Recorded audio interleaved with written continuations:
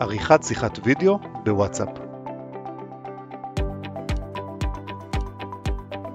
בוחרים איש קשר. לוחצים על כפתור מצלמת הוידאו. מחזיקים את המסך מול הפנים. וממתינים שאיש הקשר יענה.